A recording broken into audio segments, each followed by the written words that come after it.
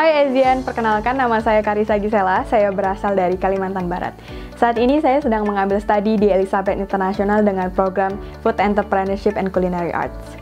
Saya memiliki dua mimpi, yaitu menjadi seorang pengusaha dan juga menjadi seorang profesional chef.